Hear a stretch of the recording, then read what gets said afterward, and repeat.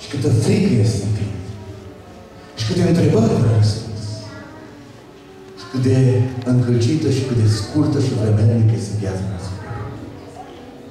Dumnezeu te iubește. Și Dumnezeu să întinde o mână în seara asta.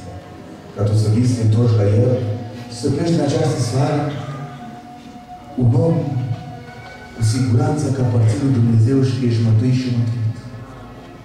O persoană care simte în inima ta siguranța care a venit în urma iertării păcate. Și apoi credința că indiferent ce se va întâmpla cu viața ta și a mea, vom fi cu Iisus Hristos în Împărăția lui Dumnezeu.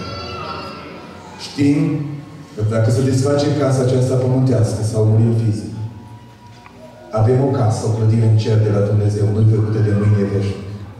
Dumnezeu ne-a făcut pentru aceasta. De aceea suntem întotdeauna plini de încredere și în siguranță. Și ne place mult mai mult să părăsim trupul acesta ca să putem să fim într-o zi acasă la Domnul. Fraților, prieteni, nu trăiți în necunoștință. Dacă credeți că Isus a murit și a înviat, sunteți invitați să credeți și că El, Isus, va duce înapoi pe toți care au dormit în El.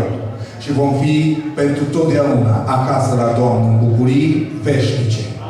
Dacă ai în această seară nevoie de mântuire, de iertare, de înviere, de răbire, de cer, te voi chema să vii la El. Vreau să mă rog cu dumneata. Vreau să ne rugăm împreună.